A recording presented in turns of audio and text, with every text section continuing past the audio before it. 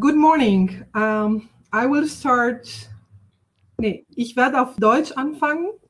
Guten Morgen. Ähm, äh, sehr schön, dass wieder einige da sind.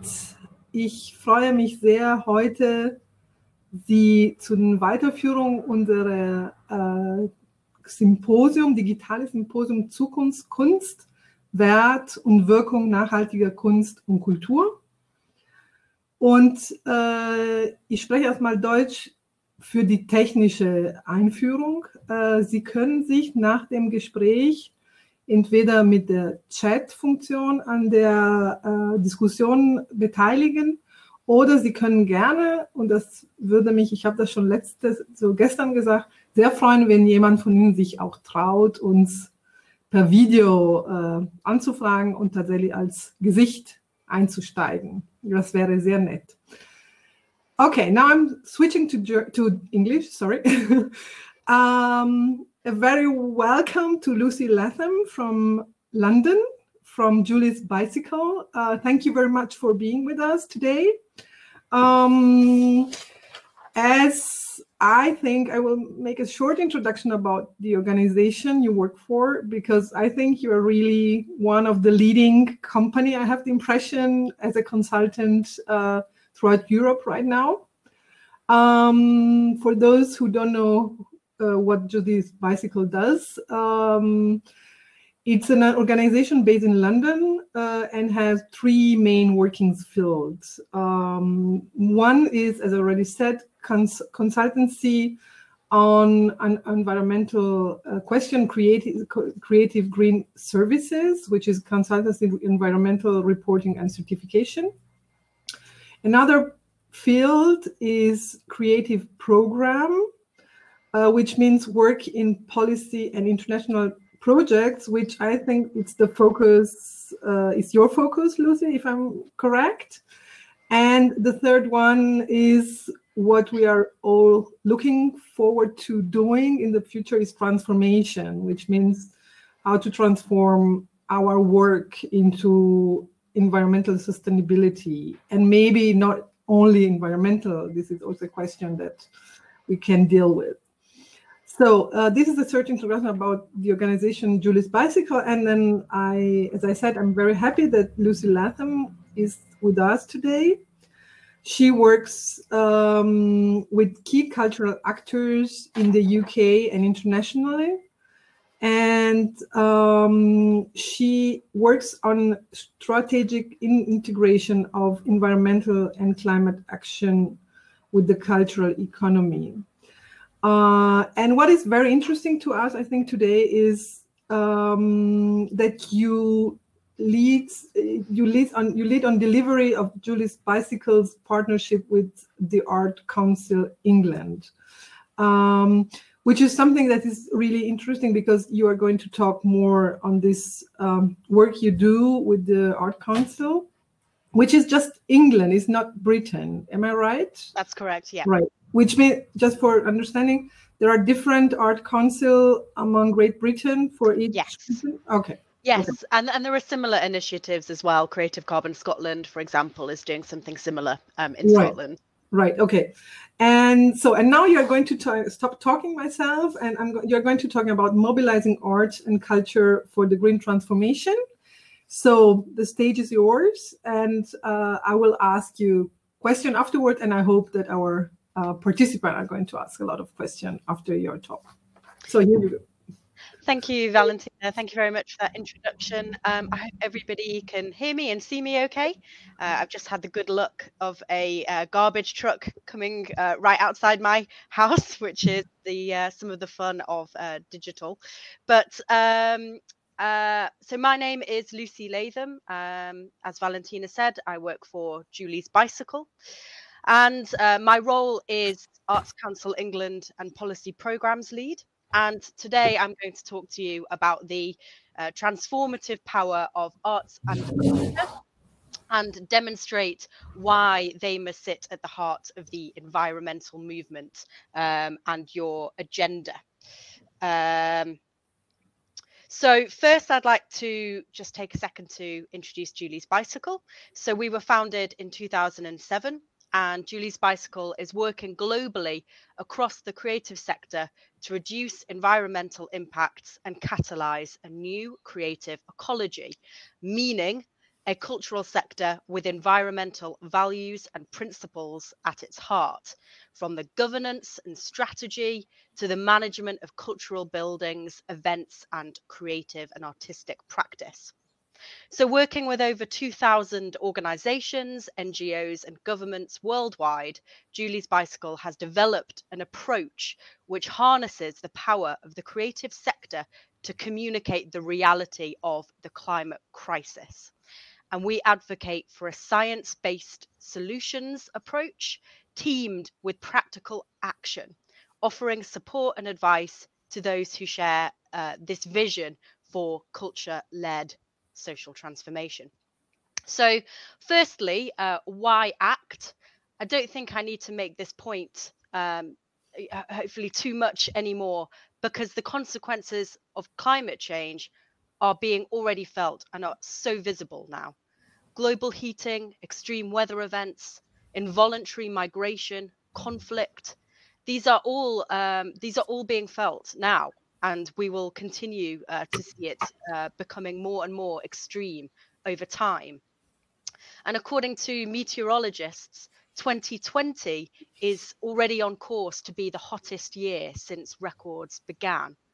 So the climate crisis um, is one part of the equation, but it's also twinned with another crisis in biodiversity. And the 2019 United Nations Biodiversity Report states that at least a million species are at risk of extinction because of human action. So, in short, the continuation of unchecked global growth based on fossil fuel consumption threatens all aspects of life as we know it. So, you know, this is the issue to uh, to be uh, coming together and acting ambitiously on. It is about the future survival of our species. So, across the world, the effects of climate change and the destruction of nature are generating a call to action. In 2018, um, the publication of the Intergovernmental Panel on Climate Change, otherwise known as the IPCC, their special report called for unprecedented changes within the next 12 years in order to keep global warming to a maximum of 1.5 degrees. So these twin challenges, climate and ecology, will not be solved by individual action alone. They are systemic issues and they require systemic solutions. A radical shift in consumption and a clear and unwavering commitment to decarbonize the global economy. So, quite the challenge. So, what then is the role of arts and culture? Well, whether through uh, craft, fashion, art, music, film, culture is a powerful driver of lifestyles and identities. It is the epicenter of how we think, feel, behave, and act.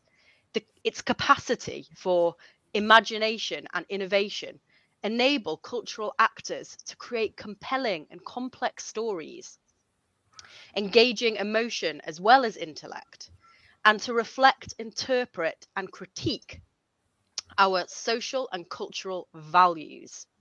Because climate change is ultimately the result of a set of values which are incommensurate with the finite resources of planet Earth. So, this is a question of cultural values. And the cultural community is not only rising to the current challenges, but are the trailblazers, creating work that tells a story that neither scientists nor politicians can or will. Uh, we're seeing cross discipline collaborations uh, yielding smart ideas, technological innovations, and productive economic alternatives. This community of creative leaders are helping to reconfigure the definition of good governance so that sustainability in all its forms needs no explanation or justification. So the creative community must be recognized as critical to this conversation and as an essential repository for solutions.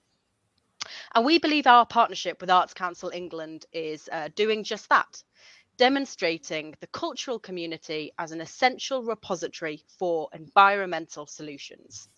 And it also demonstrates the power of cultural policy to affect real change. So, to introduce uh, the partnership between Arts Council England and uh, Julie's Bicycle, um, it was our first major support programme working in partnership with Arts Council, and it materialised partly as response to work in cities. So this is where there's a nice connection with what Dresden is doing, because actually there's a backstory here that connects to the City of London. So Julie's Bicycle, along with several other organisations, were commissioned by the London Mayor's Culture Office uh, to produce a series of green guides for the creative industries, outlining how they can meet London's ambitious energy emissions reduction target of 60% by 2025.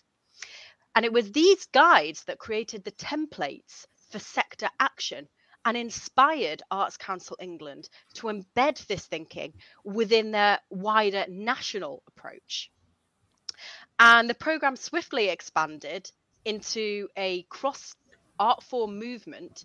And in 2012, two years later, Arts Council England made it a funding requirement for all their national portfolio organisations and major museums partnerships to report on their environmental impacts and to have an environmental policy and action plan in place.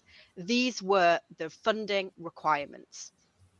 And the program really works to embed environmental sustainability in decision making across the board, from senior management to devolved environmental responsibilities, permeating all job levels.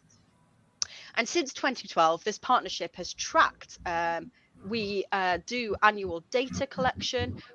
The da- data is the sort of crux of the whole program. So we've been able to track an annual 4.5% reduction in energy use, and that's equivalent to over 10 million pounds in energy savings. So not only are we prompting environmental resilience and action on climate, we're also improving sector resilience through reduced financial expenditure. And the number of organizations uh, the carbon literacy is also growing over time. So we're able to demonstrate that the number of organizations reporting robust data has increased by 33% since 2012. So this shows an increase in understanding of environmental impacts and a growing confidence in measuring and managing them. And two aspects that this program is really reliant on, and what I want to sort of put a spotlight on right now. And the first is data. This project is rooted in data to understand impacts, to understand change, evaluate what is working and what needs adapting, to tell the story of sector transformation, uh, to understand changing opinions. We do attitudinal analysis too, to gather ideas and to build the business case for further action. So this program is underpinned by robust, relevant, and accountable research. Quantitative data, i.e., the environmental impacts, and qualitative data, the attitudes across the sector.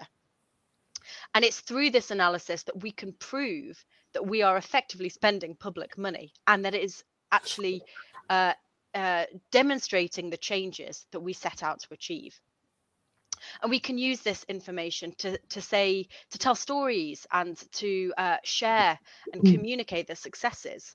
Um, for example um, or, or, or statistics really that show how much the impact you know how much impact the sector has and what the task at hand is. So we can say that the amount of water used could produce cotton for 2.7 million t-shirts or that the sector uses the equivalent energy to power over 120,000 UK households. So, this is all really important in terms of building the business case, supporting and strengthening our program and our relationship with the sector. And proving it works, evidencing the savings, demonstrating benefits, have enabled us to extend that ambition further. And we've developed in 2018 two new focused programs uh, Spotlight and Accelerator, and a particular thematic stream on social justice. So the Accelerator project is a leadership development and incubate, incubation project combining personal leaderships, uh, knowledge in climate science and social justice, uh, with a view to developing a new project or model that will that will continue uh, to contribute to the vision of a future proof sector. And Spotlight is focused on energy management. So, Spotlight supports 30 of the Arts Council England organisations to set science based targets in line with the Paris Agreement and develop carbon reduction strategies through our energy management tools and knowledge sharing communities. And then we were also um, able to build this new stream on social justice. Um, so, Common Ground, I really wanted to mention Common Ground. Um, this thematic strand has created the space to explore the connections between climate breakdown, inequality, and social justice, mm. and the role the cultural sector can play in recognizing and redressing these imbalances. And you can find more information and the recordings from a recent conference uh, called Common Ground on our website. And the second key aspect I wanted to mention um, is support. So, in order to support this policy measure, Julie's Bicycle has uh, developed a, a, rich program of events, uh, webinars, resources to facilitate the exchange of environmental best practice and, prom- and promote um, a community working together towards a common goal. And uh, creating this space for dialogue, for skills and practice sharing, for networking, building of confidence, emotional support as well this remains a really critical function across all of our programs. So uh, what the Arts Council England program has also done in a kind of uh, a nice cascading um, cascading relationship is that a policy intervention on cultural fund level cultural funder level has prompted policies on cultural organization level so we're seeing all kinds of organization um, uh, changes, and that's what I want to focus on um, now, as I have been asked to give some more practical insights for cultural organizations who are looking to embed sustainability. And um, there's way too much to say for a short speech, but I am going to introduce some key principles of good environmental governance. And good governance helps ensure environmental sustainability is accounted for across decision making um, and that you have the support structures in place to achieve your environmental ambitions. So, what are the principles of good governance for organizations? Well, firstly, that sustainability is led by the board and senior management with devolved environmental responsibilities across all areas and different job levels.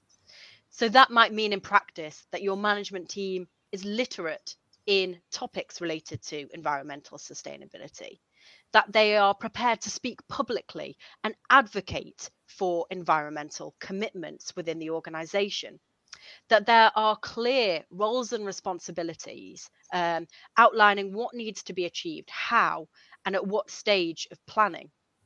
There may be a green team or a green champion um, that helps um, drive the environmental uh, program in the organization and ensuring that uh, environmental literacy training is available for staff members.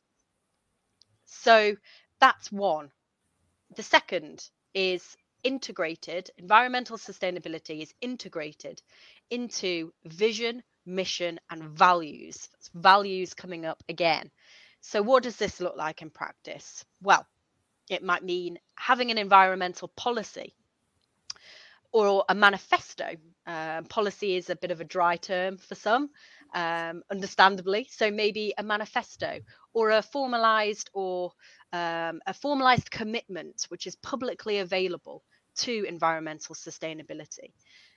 And that demonstrates that there is a public recognition of arts and culture as a custodian of the natural environment with a responsibility towards inspiring um, environmental and social change.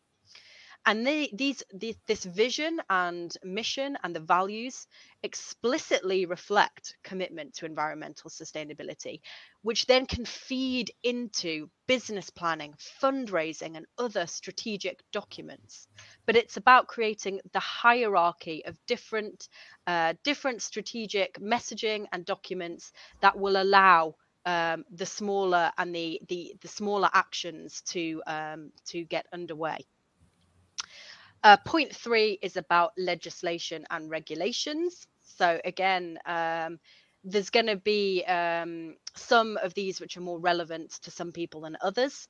But I think a critical thing is that you have um, you, you sort of understand the relevance of policy and regulation in your context um, that might be city environmental policies and targets, for example, and how they link to and can be translated to cultural uh, practices. Uh, for example, on, on, emissions reductions or citizen engagement. So you can use city targets to help anchor and channel your programs as well.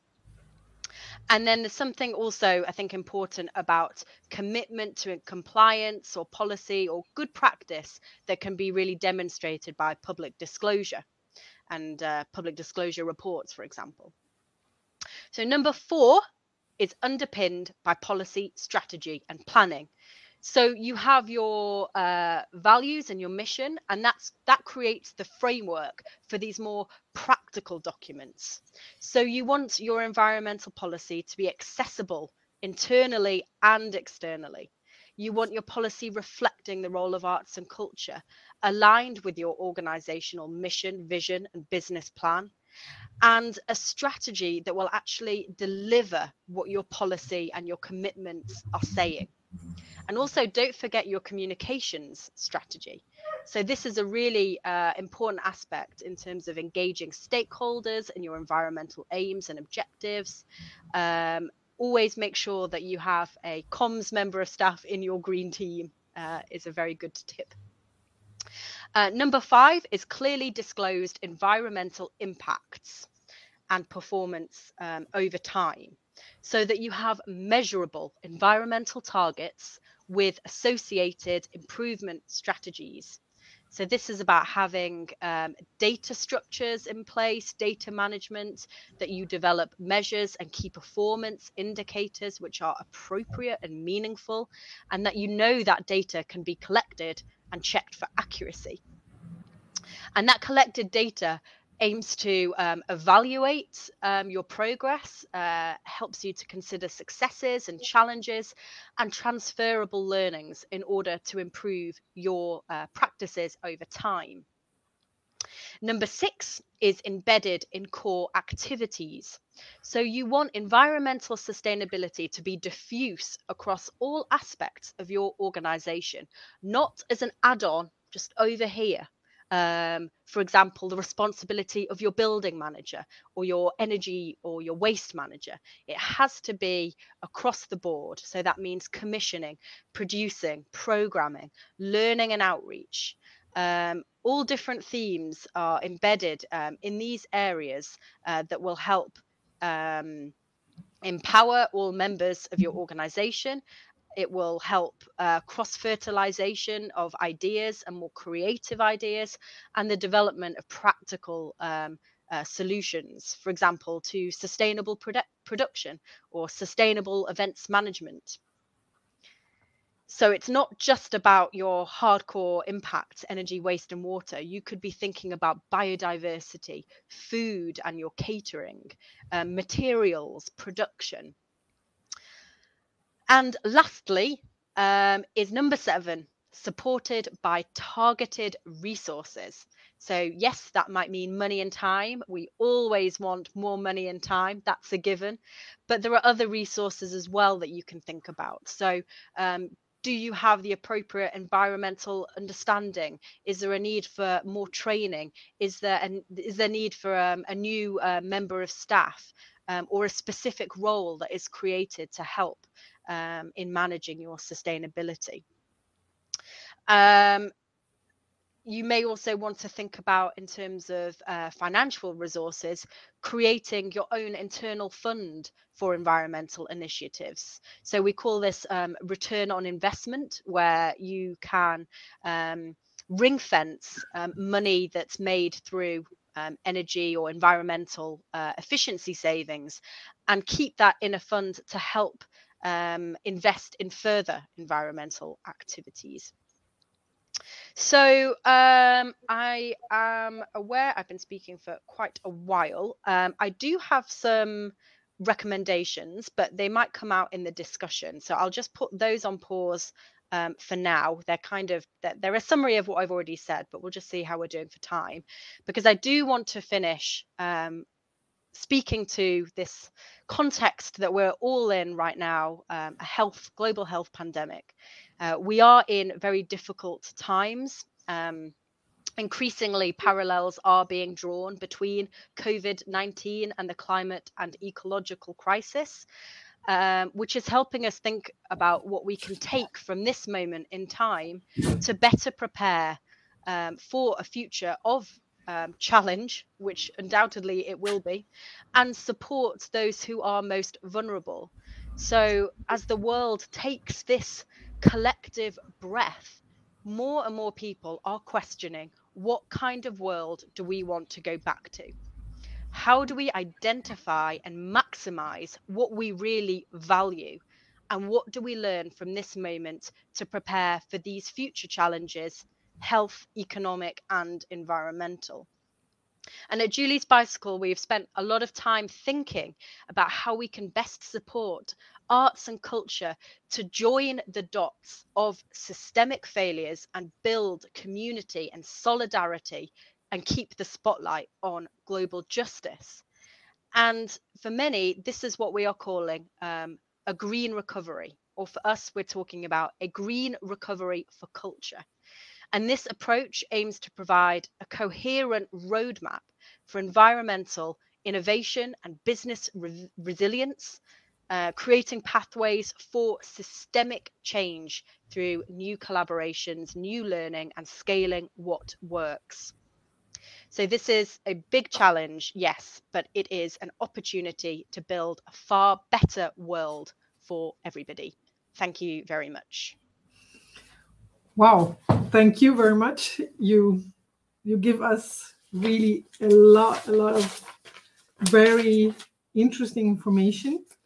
Um, and it's very interesting because, as you said yourself, you're working on this. Well, Julie's Bicycle is working on this field, has been working on this field for a very long time. So you have been um, probably developing so many different um, programs and ideas um, so, and I'm very happy. I don't have to ask the first question because there are already quite a few ones. So I will just pick the question first and then, um, okay, good morning. A question according the data collection. Mm-hmm. Which data should be collected in cultural institutions? Can you mention specific monitoring systems? And what about the resources, main manpower, technical power for specific data collection? Okay, good question. Um, let me just tackle resources first. So, I would say, uh, thankfully, now uh, there are so many free, accessible resources, uh, guides, fact sheets that are available online that a lot of people have been developing, uh, Julie's Bicycle included.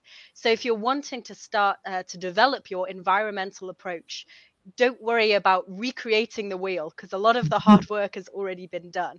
Um, there are, I'm sure there are a lot of uh, resources um, in Germany, but speaking from uh, Julie's Bicycles perspective, we try and make as many uh, as many of our resources freely available on our website um, as possible. So you can go on to juliesbicycle.com and find resources in energy management, waste management, biodiversity, plastics, sustainable production, uh, how to develop a policy, how to develop an action plan. There's loads. And if you want any help in identifying uh, those, you can get in touch with us directly and we will support you in finding what is appropriate. Um, in terms of what environmental impacts organizations should be looking at, well, that's a, a process um, that each organization needs to go on. So it will really depend on what your activities are and what is in your control and what is in your influence. So, for example, if you're a cultural um, building, a, a theatre, you may be interested in your energy because you're going to be using quite a lot through heating, ventilation, air conditioning, uh, lighting for productions. So, energy is very likely to be your main environmental impact and where you can actually influence change. Uh, for a touring organization, it's not going to be um, the energy of the buildings unless you own a building. It will be the travel associated with your tour. So you want to think about what your main activities are, your scope of your organization, and then what the uh, associated environmental impacts are with your activities. And then think, okay, so what can I control? What can I influence? And what do I have neither control nor influence over? Because if you can't do anything about it, there's uh, you, you probably don't want to prioritize it as your first environmental impact to tackle. Um, and then when it comes to actually uh, measuring, well, you can use our uh, free carbon calculator, the Creative Green tools. So any organization and can create an account on our carbon calculator. Uh, it's a calculator that is designed specifically for the creative industries, and it allows you to put in uh, raw data, whether it's kilowatt hours of energy, uh, miles of travel, um, amount of timber procured, uh, all different kinds of impacts. And you can put those numbers in, and then it will create for you a carbon footprint um, in the data, tables, and graphs. Um, so I hope that's a starting point. Very good. Thank you very much. I go directly to the second question which is how do organization you have worked with deal with the problem financial resources, lack of funds for such turn towards sustainability in event organization? yeah, um, a good question that will uh, very much likely always be a challenge to deal with. Um, I mean, there's there's no easy um, easy way of answering that, I would suggest, um, you know, there are the uh, what we call low hanging fruit. Um, I don't know how that trans- translates. Um, basically, the easy wins, the thing that the things that don't require uh, much investment, and they are usually about uh, behavior changes and things that um, you can do in terms of small personal actions um, and that actually can create um, the vast sort of proportion of environmental impact reduction is, is through behavior change. So you don't necessarily need huge amounts of money to start making improvements. And those improvements will be really supported by those internal governance structures. So having a clear commitment um, from your organization that is then reflected in job descriptions, uh, inductions, um, uh, staff roles and responsibilities, code of conduct, um, that it's really embedded in the thinking and practice of what all um, all your colleagues are responsible for. Um, and then through the small savings, you can help create um, uh, through uh, the model I talked about before, the return on investment, if you're starting to make efficiencies through behavior change, you can try and ring fence that money to start saving for slightly uh, larger investment measures. Now, it might be that you need a larger sum of money to do something really big. Um, and I think there are increasingly there there is funding. Uh, there is more and more funding being made uh, available for environmental interventions but you will be in a better, more competitive position to apply for that funding if you've demonstrated all these things that sort of come before it um, and the mm-hmm. performance improvements that you've been making and your commitment to environmental good practice. And certainly, um, certainly in the UK, there is more and more cultural funding which is recognizing environmental good practice um, as a very competitive feature of funding bids and funding applications. I think this will only improve. And I also recommend that anyone giving cultural funds, whether you're a, a cultural funder or a city government, that you include um, environmental criteria in your application process, which helps create the demand for more uh, environmental uh, programs and practices. Okay, well, this is very good um, answer because it's very, very practical uh, suggestion of what um, funders could do.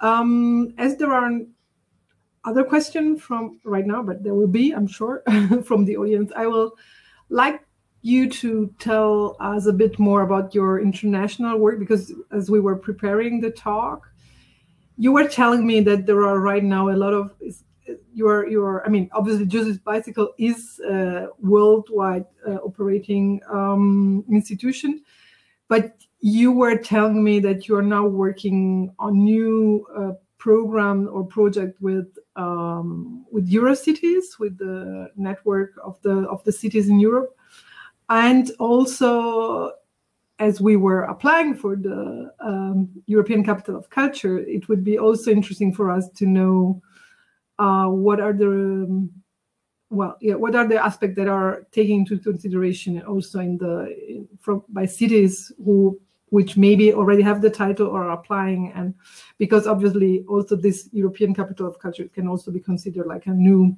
uh, way of improving and changing own city. Yeah.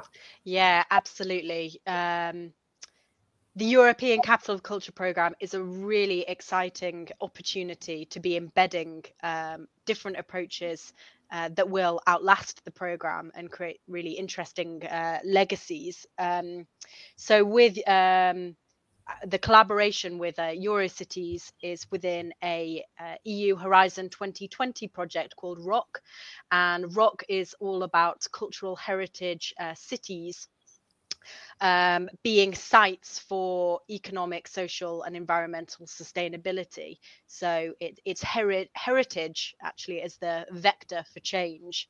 And uh, something that Eurocities and Julie's Bicycle have recently launched is a guide to sustainable city events. So um, I'm happy to mm-hmm. share uh, that guide with you, Valentina, to, to circulate to anyone um, interested. And that guide could be um, I think really useful for um, public programming activities that would happen as part of a European Capital of Culture program. Uh, we actually are, Eurocities and Julie's Bicycle are looking at developing um, a guide for European Capital of Culture programs to embed sustainability uh, formally uh, into their processes and practices uh, from the stage of even developing uh, the proposal and the bid book. Um, we know that a lot of for for a, a quite a, a, long period of time there have been European Capital of Culture programs that have done really interesting um, environmental um, projects. But as far as I'm aware, there's not a sort of a framework to help that that thinking. Mm-hmm. So we're responding to to that uh, gap, and hopefully we'll be bringing something out in the next uh, the next few months but Rock is part one of our uh, sort of several city uh, international urban city programs. Uh, we also have a great program called C-Change, which is one um, an EU URBACT program. And C-Change is is really cool. It's basically taking the model that was established in Manchester um, by a, a, network called Manchester Arts and Sustainability Team. And Manchester Arts and Sustainability Team, or MAST, um, basically developed in response to a city strategy. And they wanted to ensure that culture were uh, was really um, a you know in a position to influence and impact the city's environmental uh, targets. So MAST developed, and it now works very closely with the city on its environmental strategy, and has developed this really interesting model of practice, and that is now um, being uh, sort of transferred those learnings to uh, various other cities across Europe so that's another great example of, of kind of scaling a model that's been really um, successful. Uh, we've also had a great partnership with the World Cities Culture Forum, and you can uh, access some of the resources that we created in partnership um, with WCCF. Uh, they're also online on our website. We created uh, 14 city profiles um, cities from across the world and we uh, did a sort of SWOT analysis of where that the culture and their environmental teams were collaborating across policy and strategy, investment and creative programming, and then created these 14 city profiles, uh, which really make the case for the opportunities of cities and city government and just what really impactful things can happen um, when you get a culture team and an environmental team to work um, in dialogue. Um, and then lastly, I'll just mention another inter, um, international program uh, that's not specific to cities, um, but it really speaks to this point of, uh, of building community and creating uh, shared practice and exchanging practice. And that's a program called Creative Climate Leadership. Um, and that's a, um, a, sort of leadership development program that has happened uh, so far in Wales, um, Slovenia, uh, Arizona in the USA. Mm-hmm. And mm-hmm. yeah, it's it, a very mix. um, and it's really bringing together a community of artists and cultural organizations. And uh, together we uh, learn um, different things from climate science and climate justice to active listening, uh, different styles of leadership, and really help uh, capacity build the kind of leadership qualities of arts and culture uh, to act on sustainability. And we're really open to co creating programs um, of creative climate leadership with in different uh, locations and with different communities. So again, if, if that's something you're interested in, uh, do get in touch. Mm. I think um, this this idea of um, educating the leadership it's a very interesting point to me because I mean there are two points which are I think are very interesting. The one is um, as we are at the beginning of our process, and uh, I wonder if you could tell more about. I mean, there is always this clash, or let's say a very uh, how can I say it? A very um, careful approach to culture, like to say, okay, culture is, you know, it's kind of a skeptical approach, maybe that culture is not, it's like this, the last thing that comes in the raw. And uh, well, I don't need to to tell more about that. So I wonder, and obviously there is a political will. There has to be a political will to use the tool of culture if you can reduce culture to a tool, which is not the case. But just to make the point.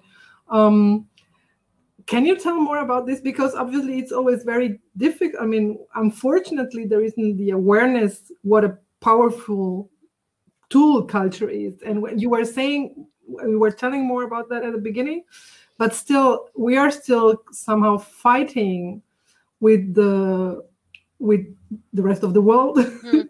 and just to say culture it's it's a main issue and it's not something you can forget we with cultural and art which can really make a change. And this is a point that it's always very frustrating for people working in the cultural field that we always have to to convince people how important we are. Can you make some, some i don't know. Yeah. If you had like an example saying okay we went there and yeah. if you can think of something? No i mean uh, you're you're totally correct. Uh, we always have to uh, make the case for why culture. Um, it's uh, very boring now because it's so self-evident. Yeah. Um, I would say things are changing. Um, I think that increasingly people, um, you know, have been trying to affect change through using the science and to maybe some extent policy levers. And we haven't come that far.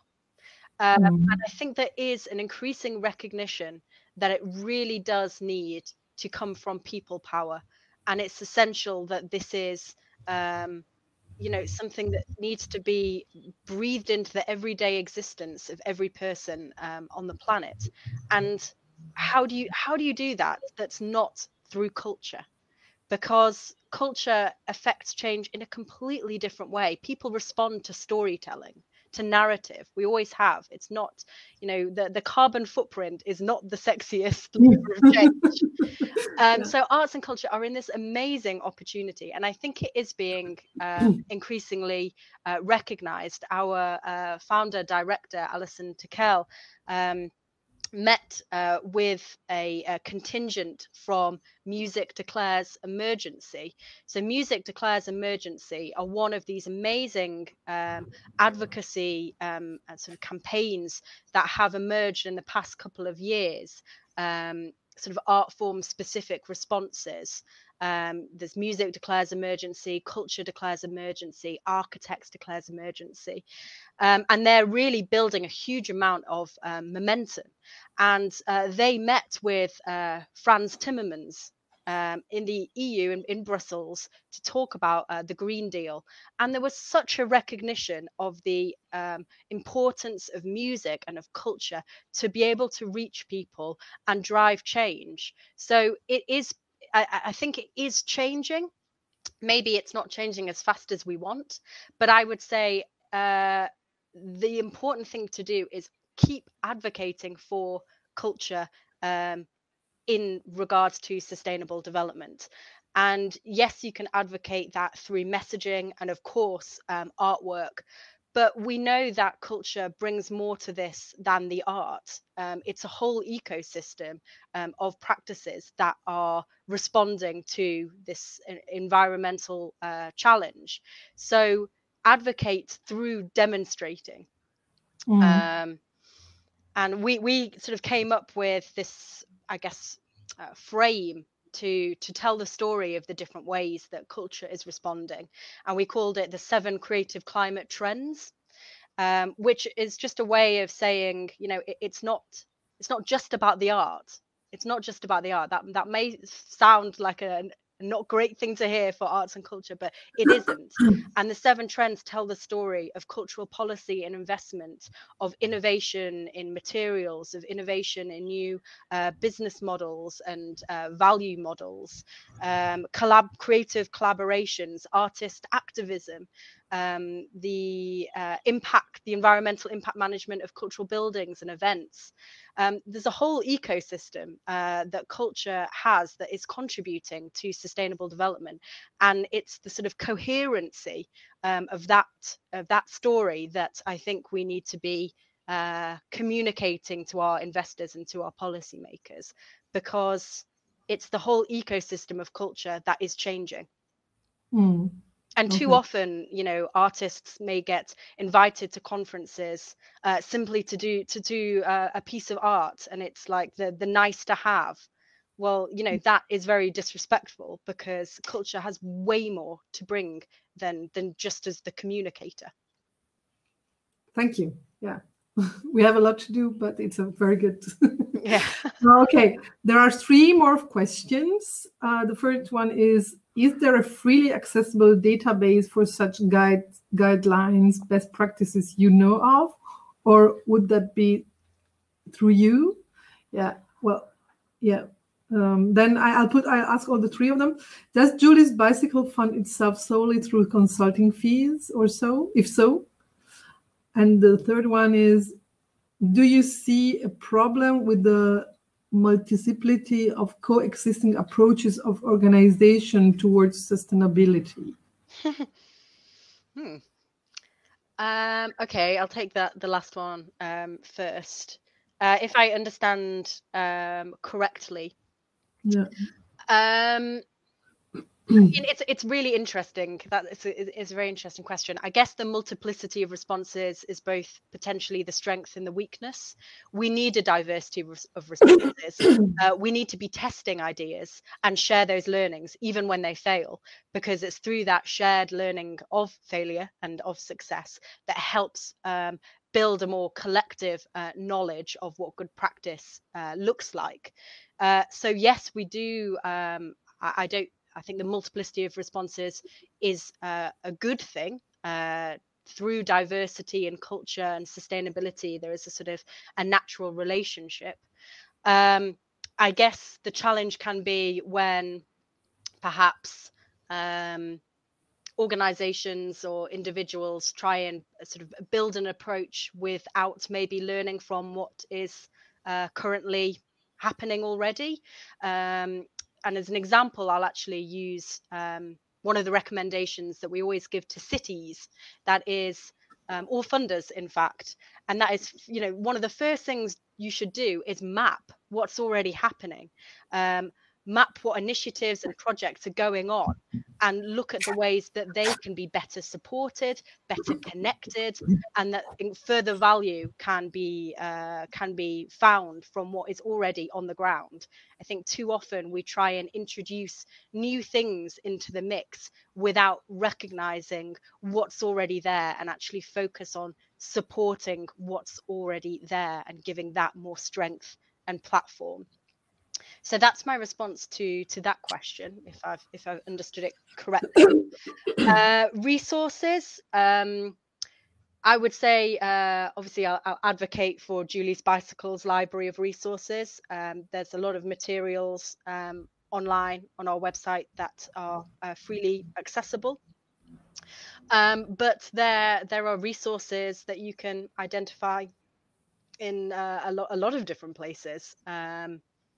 I think the thing is to be clear what you're trying to achieve and then uh, use the power of a search engine to find it.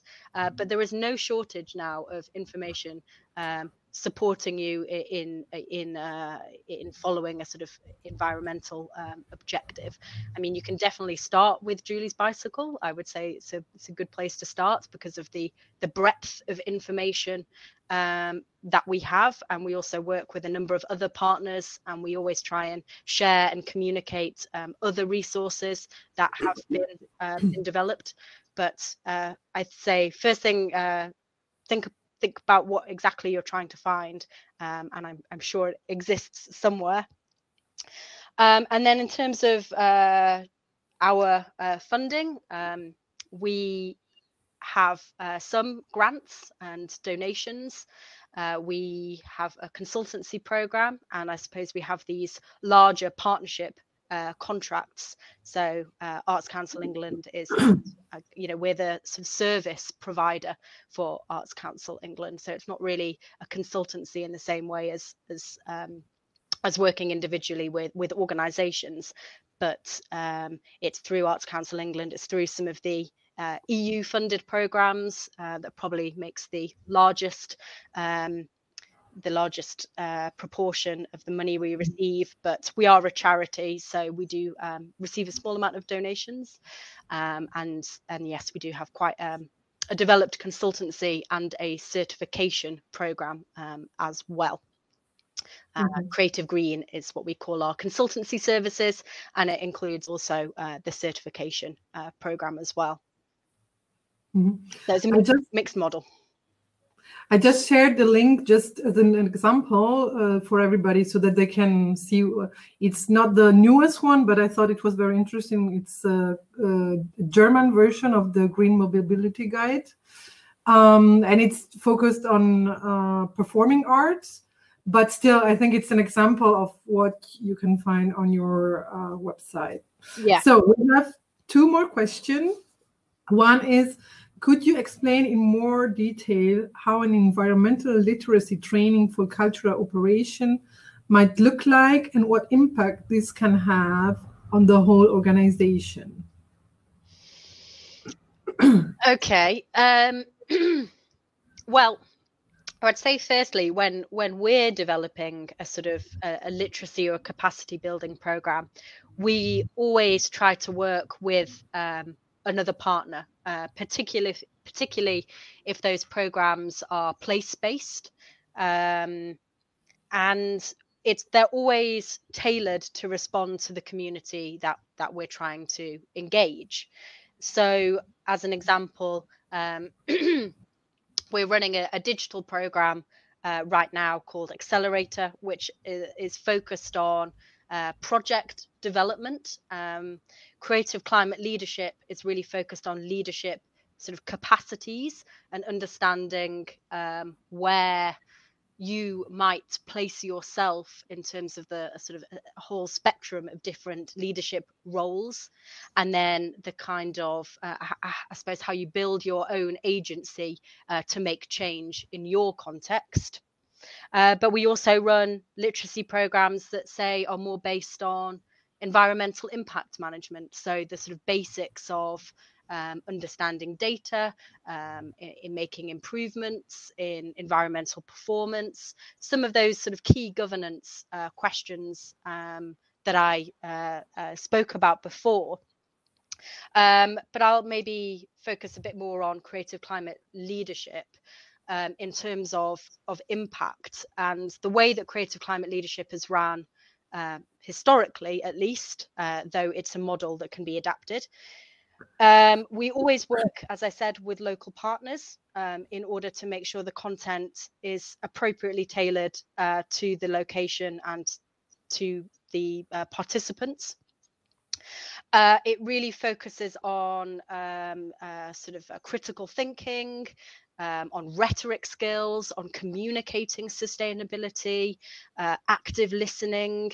Um, it, it's it's sort of the leadership capacities that um, culture can harness to act on climate and to advocate on climate, um, as well as including knowledge in um, in issues like climate science and uh, climate justice and uh, cultural responses that we frame with this seven creative climate trends work actually. And it we, we developed it really in response to um, the knowledge that there were people all over the world who were doing brilliant work, uh, whether in organizations or as individual artists or cultural, any kind of cultural practitioner.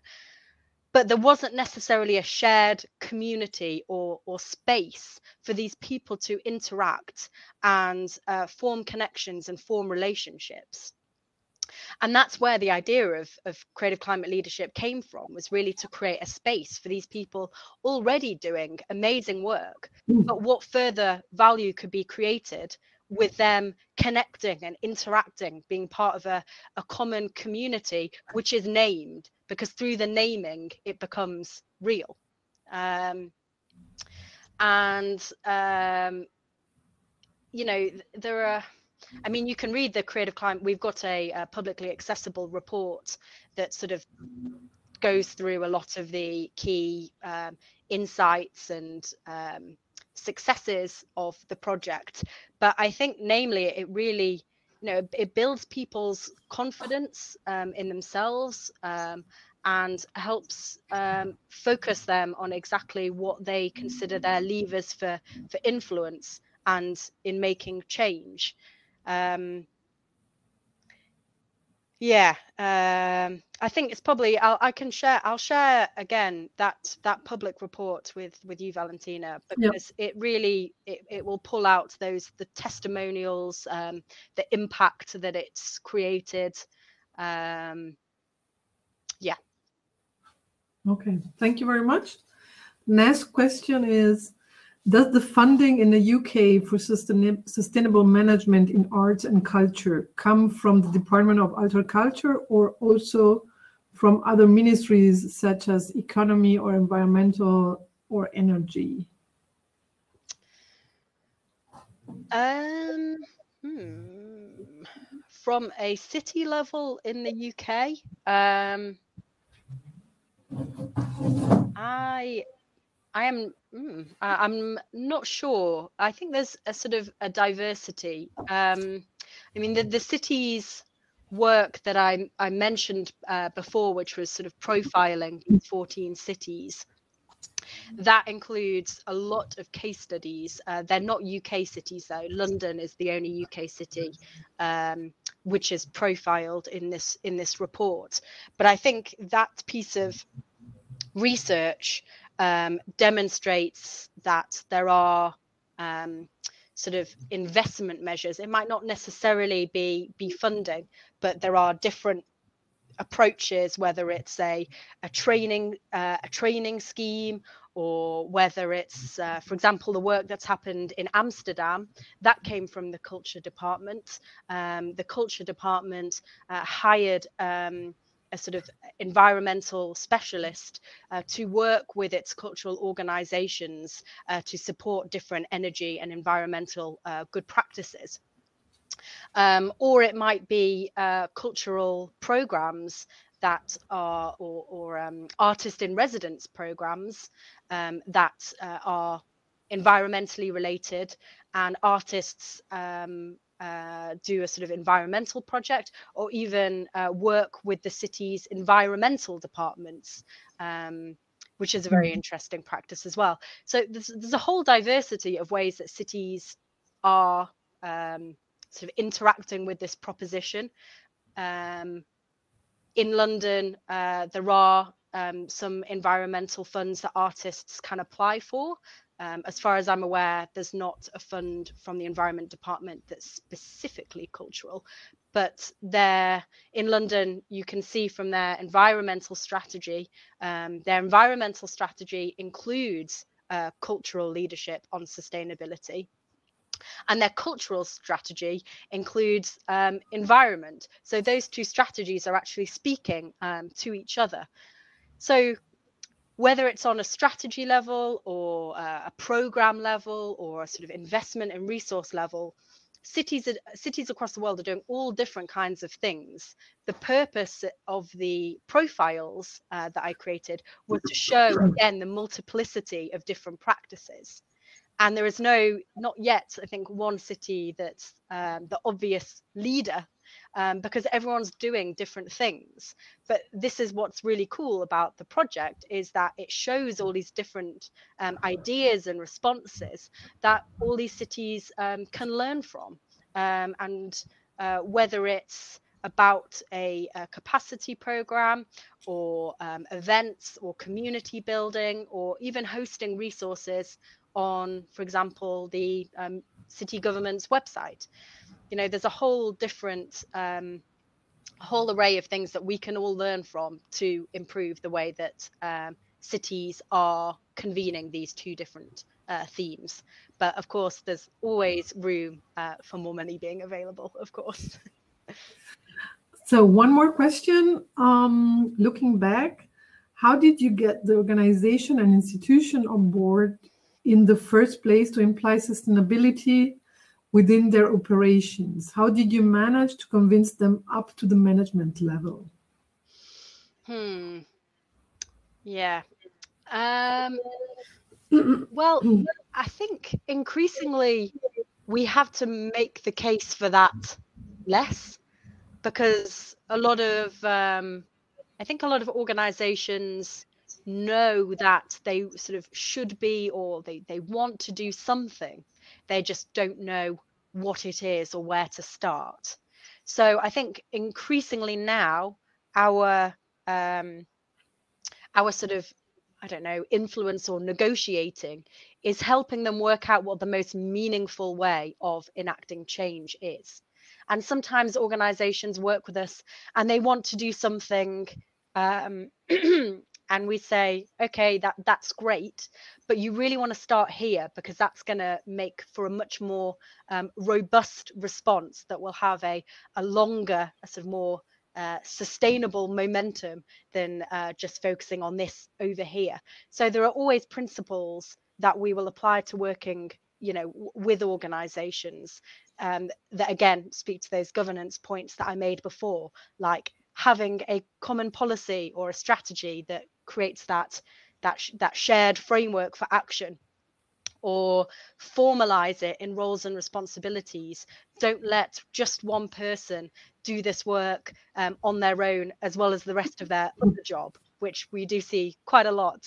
Um, you know, formalize it, make sure it's resourced, make sure it's properly supported so that it becomes part of the organization's architecture.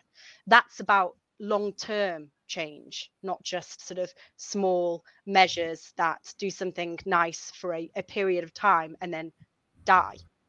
Mm. Um, but I would say we you know when we when the Arts Council England policy started, of course there were more organisations um, that weren't you know bought into the idea it's no secret that arts and cultural organizations are under a lot of pressure and introducing um, new reporting requirements is never going to be met with a standing ovation. So of course it took a while to um, you know to to to demonstrate the value of the program and, and that's actually you know why again the data is so important because you know we're we're the recipient of public money and we are uh, requiring organizations to do something so we have to ensure that what we're doing is evidenced in value to the sector and that's why mm. the data informs such a um, an important you know it's the it's the uh, the backbone of the program because it, it shows what what works. And increasingly over time you know we can see an increase in how organizations you know are, are responding to it and that there is um, an acknowledgement and increasingly you know organizations don't uh, you know they're they're doing things in their own own right. They they go far beyond the requirements of the program um, and again you know when i was saying before it's it's not just about the carbon impacts it's about the changing um, attitudes. So as um, an example if i can just bring um, you know we we we ask um, we do a qualitative survey um, each each year to understand the benefits uh, to organizations that allows us to then report on those. So, for example, in the last report, we were able to communicate that 81% uh, reported improved team morale. So this is a really interesting statistic, and actually, the mm-hmm. team team morale and team well-being has gone up year on year um, every time that we've done this survey. So it's showing that people respond positively to knowing that their organizations are, uh, you know, being accountable for their environmental impact. It makes them feel more positive about the places that they work. 66% are reporting financial benefits. Um, so again, this is about the business case for action, uh, particularly when you're talking to funders and investors and policymakers you know they're going to care about the finances. So being able to talk about efficiency and money saved and sector resilience is really important.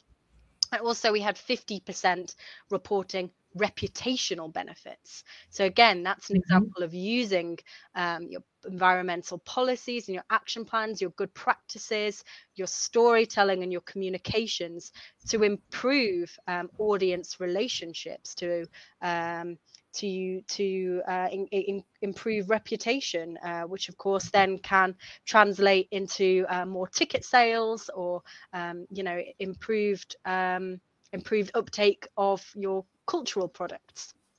Mm. Yeah, that's um, so. Now I would like to because we are, as I told you before, um, we are studying the process right now, and. The um, our pro uh, our uh, goal as a um, cultural department of the city of Dresden is really to try and start this process with the cultural scene in Dresden, which is not just the institutions, but it's also the grassroots, everybody.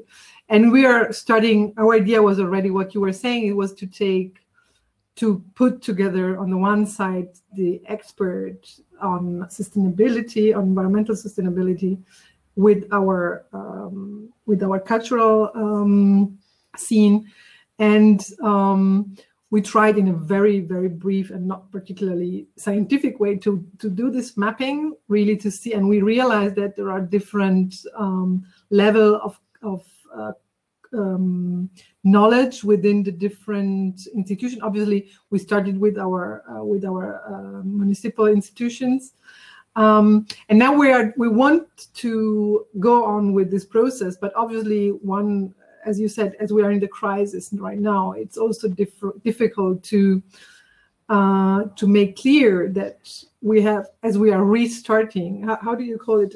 Uh, I don't remember your recovering the green recovery. Yes, yeah, yes, a green recovery. I think it's a very. Do you have any? I mean, now I'm using your consult, consultants, which I didn't pay for, maybe. no, I'm just making fun. Um, do you have any i mean any idea because what we, we think of doing is really to create uh, among all the institutions where we don't want to focus just on one institution. We want to focus on the whole um, artistic world in dresden and, and, and cultural scene. And so what would be your suggestion to start in a positive way and not to have the impression okay we're just giving some more you know there are already difficulties and we are giving one more um, uh, we have we give them something more to do which is not on their agenda right now. Yeah sure. Um, so i would say start with um, you know don't start with something punitive um, like a, a policy um, start with um, providing the opportunities. So knowing what organizations you know would find beneficial right now whether it's uh, resources um, whether it's training whether it's support in understanding impacts or creating a policy. You know find out what people would find useful to the way that their organization is functioning and respond to that demand first.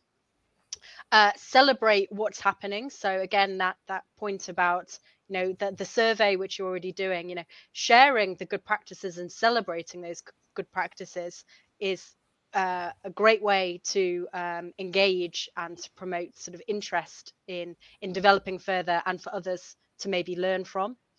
Um, and make the case for the connection between coronavirus and climate crisis because there are uh, parallels here. Uh, we're talking about crises, whether it's health, whether it's economic, uh, whether it's social justice, whether it's environmental. So we do need to be taking a interdisciplinary approach and a holistic approach to meeting these 21st century challenges because they're, they're, not going away. Um, far from it, quite the opposite. So, um, you know, we can yes, we're in this um, this particular moment of time now, and of course, a lot of organisations are just focused on keeping afloat, keeping in business, and they have to be allowed to prioritise that.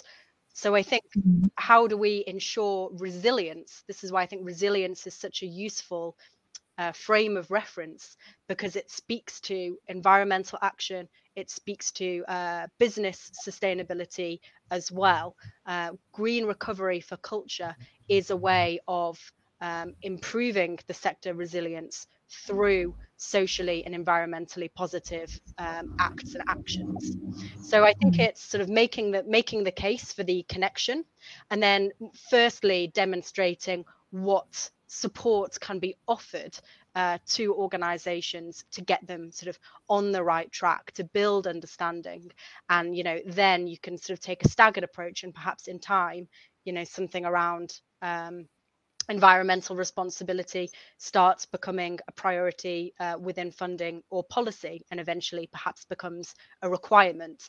But it's about taking organizations on a journey uh, with you um, and um, I think you know the the the stage the first stage to focus on is, is about empowering and engaging and and educating.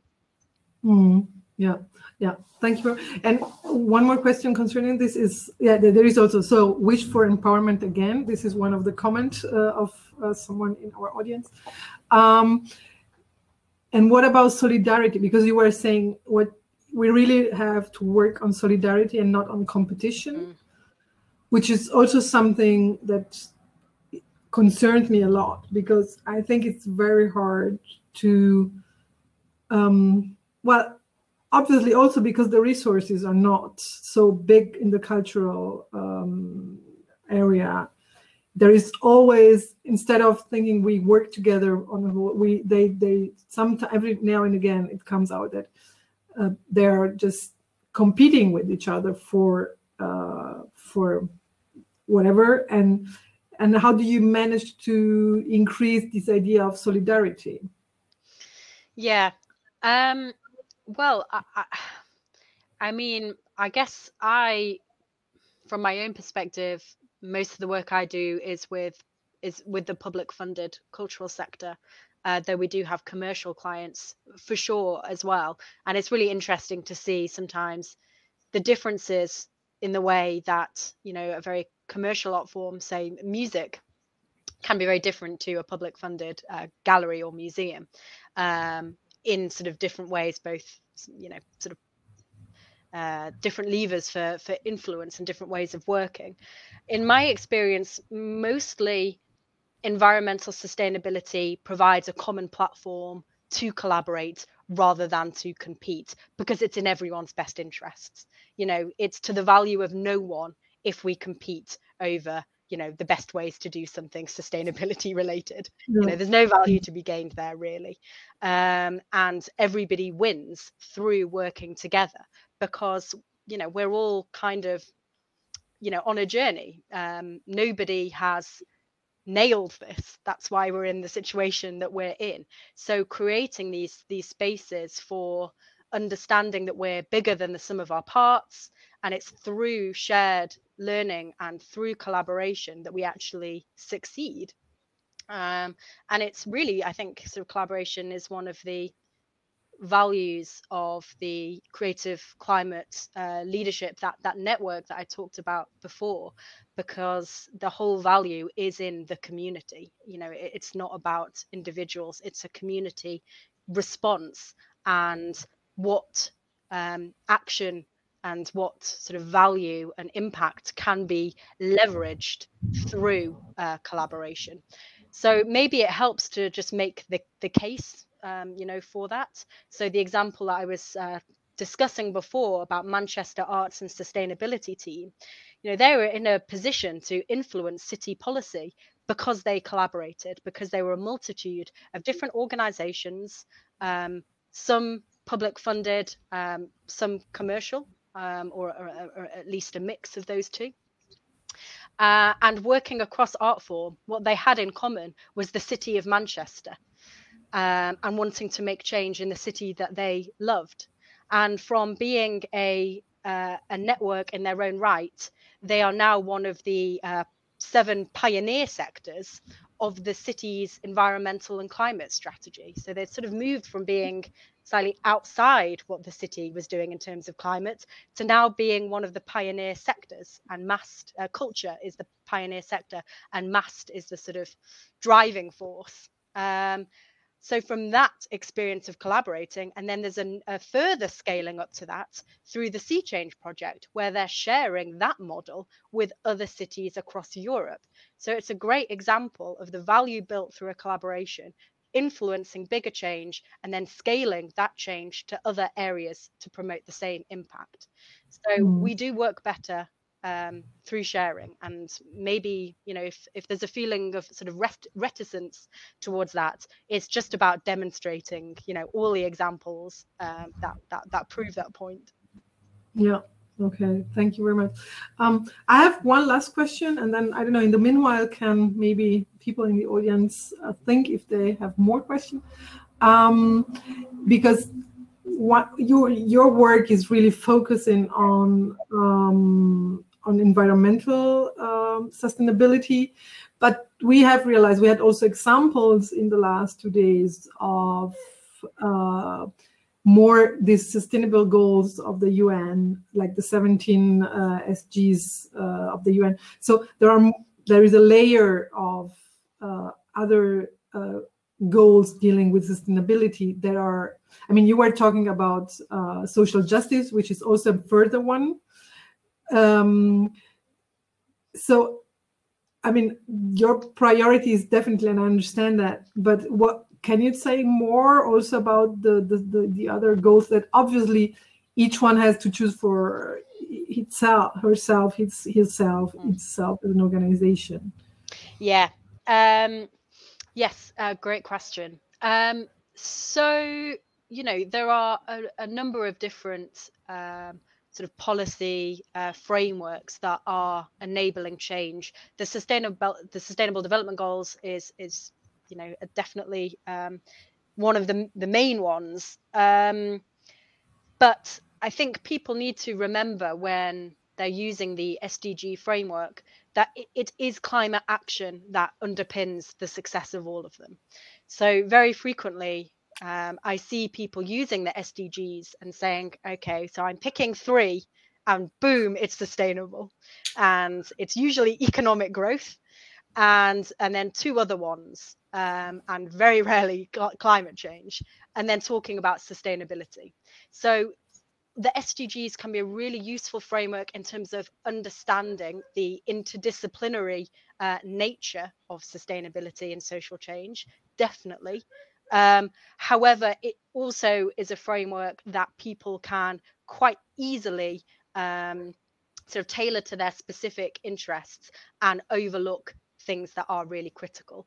So in the in the UN narrative around the SDGs, you know, it, when it talks about climate action, it's saying this goal is underpinning the success of all of them. We we can do so much, um, but if it's not, you know, uh, underpinned with climate, it doesn't have the the resilience.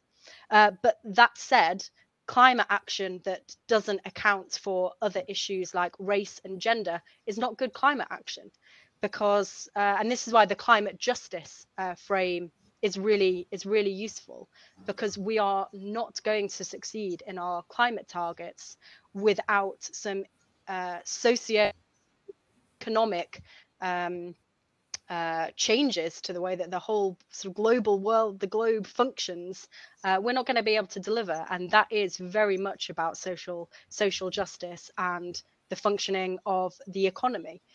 Uh, so use the SDGs to, to sort of understand um, how these different issues, you know, interact. But remember, it, it's not just about picking goals in isolation. It's about sort of understanding that uh, tapestry of interconnections. Um, so for us, when we now talk about environmental action, for us that's really underpinned by social justice because the two you know they they don't exist outside of each other. Mm-hmm. um, one cannot be achieved without the other. Thank you. Okay there are more questions. Um, what could be my contribution getting an institution to imply more sustainability i myself work at the music as, as a musician at the music sorry at the music school as a teacher so I don't have any managing function in this institution. Okay. Um, well, maybe a way uh, to start would be engaging the students instead. Um, if you're a teacher and working with the students, um, what interests do they have? Is there an opportunity to create a sort of uh, student-led environmental movement within your institution? um, or if that's uh, potentially too problematic, then I would just say, um, you know, t- talk to um, talk to people in the organization find out if there is an interest. There there might be a, a, developing interest that's just not found a place to to manifest yet. And they might be waiting uh, for somebody to to ask and speak out and uh, help sort of galvanize change. But if it feels like there is sort of reticence from the um, i don't know the management then maybe it's it's sort of um, through the students and is there a um, a sort of a student movement that, could start that would um, I guess put a, a, little more pressure on seeing a response from from management. Um, I think you know it, it's through it's through the movements like you know whether you love them or not, but it's through the school strikes, um, Extinction Rebellion, you know these movements um, are affecting change. They are driving change on a political level. So you've got to think about what your levers of influence are and how to try and attract support um, for those. Maybe it's about sharing um, an article of a similar establishment that's done something. I know there are music schools in the uk and uh, um, sustainable production colleges that have been embedding sustainability in their um, in their teaching uh, for a number of years now.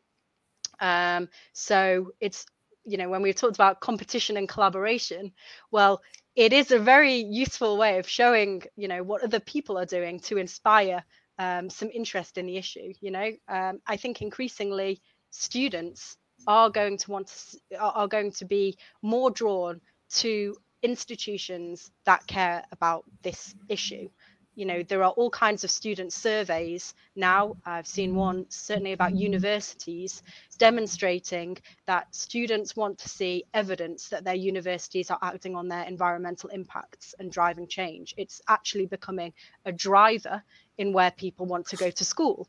So use that, use that intelligence, use that information and see what other people are doing and try and use that to prompt maybe your colleagues uh, to think about how um, an approach could be developed uh, wherever you are. Thank you. Now we have a big question. Oh God. what do you think about culture as an extra goal of the SDGs? um, well, I know obviously there's been uh, great work um, from the likes of um, UCLG, United Cities and Local Government, who've been advocating for a number of years as uh, culture as the fourth pillar of sustainable development. Um, I mean, it, it is. The, the thing is, these culture is implicit in all of the approaches to the SDGs. So, sure, you could have um, social, economic, environmental, and cultural um, sort of pillars of sustainable development, it's without a doubt um, the case that culture is a pillar of sustainable development, whether it's explicit within the SDG framework or not. I guess the, the, the benefit of it being explicitly a pillar mm. of sustainable development is that it offers a major um, advocacy opportunity for culture, and it would probably, I imagine, um, encourage um, greater engagement uh, from the cultural sector in in terms of uh, other um, sustainable development issues. But it's still only sort of one part of the discussion because yes the sdgs are certainly a powerful force um, for ad- advocacy and have definitely led to a lot of positive change but they are also very open to interpretation and people doing all kinds of things that don't necessarily actually achieve greater sustainability. So, mm. uh, yes, I think uh, definitely it should be. I think it would be a really important move um, for culture and recognizing the agency of culture. But it's also sort of one part of the equation. And I think, you know, the SDG narrative, you know, it still needs to be about decisive um, climate action and a social transition um, and an economic transition to sustainability that is to the value of all. And culture obviously is an amazing um, sort of conduit for that and offers a huge amount of practic- practical um, solutions and ideas to help make that transition. So, you know, yes, but um, or yes, and more than needs to happen as well. Okay. Well, that sounds like a very good final statement from you and for us as well. Um, if there aren't any more questions, which I don't think it's the case. Um, okay, so I would like to thank you really very, very, very much. Oh, yes, I know. Okay, they're already thanking you. Okay. you're, you're very welcome. Um, it was really inspiring. I think as we are going to record this, uh, we will really need to hear again of all the information, all pieces of information you gave to us. And um, yeah, I think uh, we have a lot to do, but your work shows that we are on a good way.